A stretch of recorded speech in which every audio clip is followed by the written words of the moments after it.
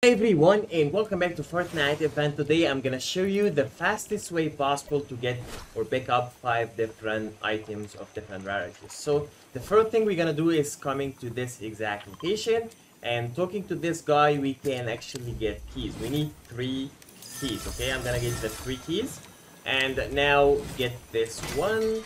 As you can see this one is rare. Okay, we need rare actually, so let's go.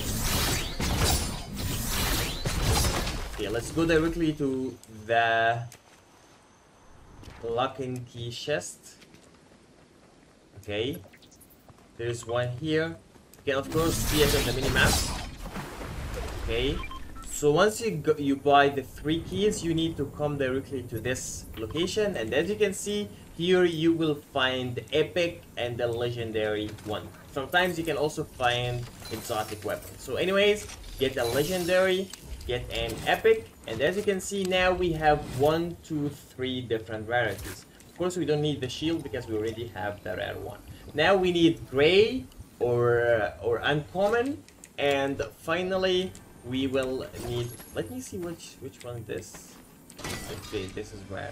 Okay so let's see the first shot. As you can see this is uncommon and now we need the last rarity which is gray. Gray we can find it in multiple stuff so let's see if we're lucky. Okay we are not lucky. We found something epic. We need okay so we move to a next location.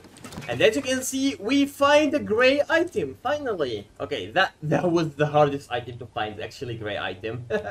So if we got this grenade as you can see the challenge will be done. Also, if you don't want to get the legendary, you can still get the mythic by going to this lightsaber. This is another method, but I think this is the fastest method to get all the items. As you can see, five different items. Thanks a lot guys for watching. Don't forget to subscribe and see you guys in the next one. Bye!